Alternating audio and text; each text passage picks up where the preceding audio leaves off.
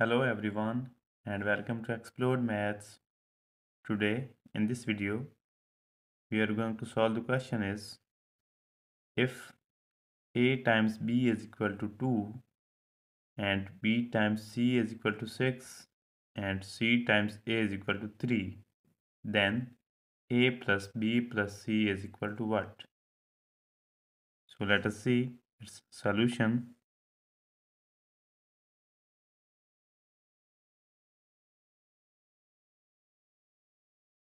So here to solve it, we will mark these equations as AB equal to 2 as equation 1, BC equal to 6 as equation number 2 and CA equal to 3 as equation number 3. So now here to get our desired answer we will multiply all these equations here in this way by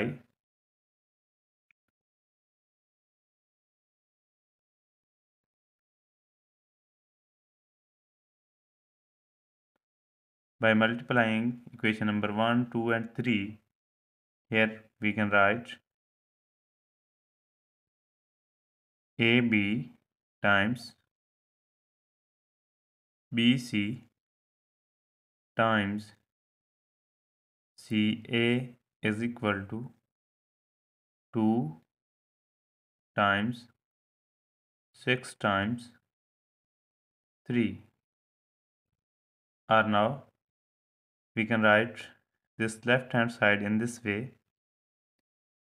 a times b multiplied by we will multiply this c to this c.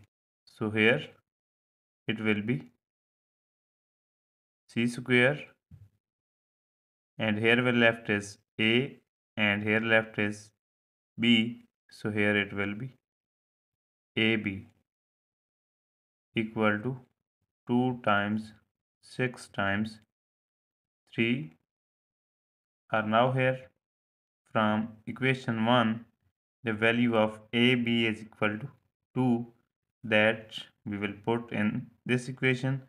So here we can write 2 times 2 times c square is equal to 2 times we can write this 6 in this way 2 times 3 times this 3. So now here we can cancel out this 2 by this 2 and this 2 by this 2. So the remaining is c square equal to 3 times 3 is same as 3 square. So Now here we need to eliminate this square therefore we will get the value of c. So to eliminate this square we will take square root on both sides. So here we will get c equal to plus or minus 3 that is the value of c. And now from equation number 3,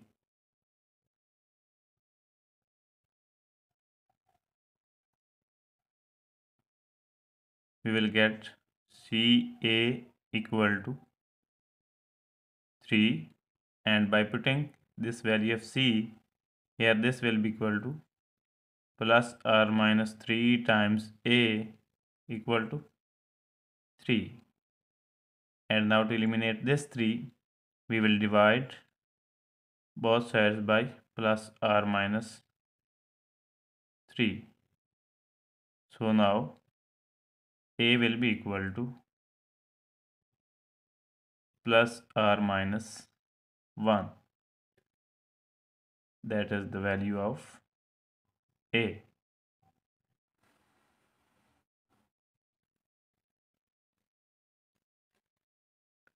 Now from equation number 1 we can get AB equal to 2. So by putting the value of A here equation will be equal to plus or minus 1 times B is equal to 2 or we can divide both sides by plus or minus 1 so here we will get b equal to plus or minus 2 that is the value of b. So here we have gotten the values of a b and c. But actually we have to find the value of a plus b plus c.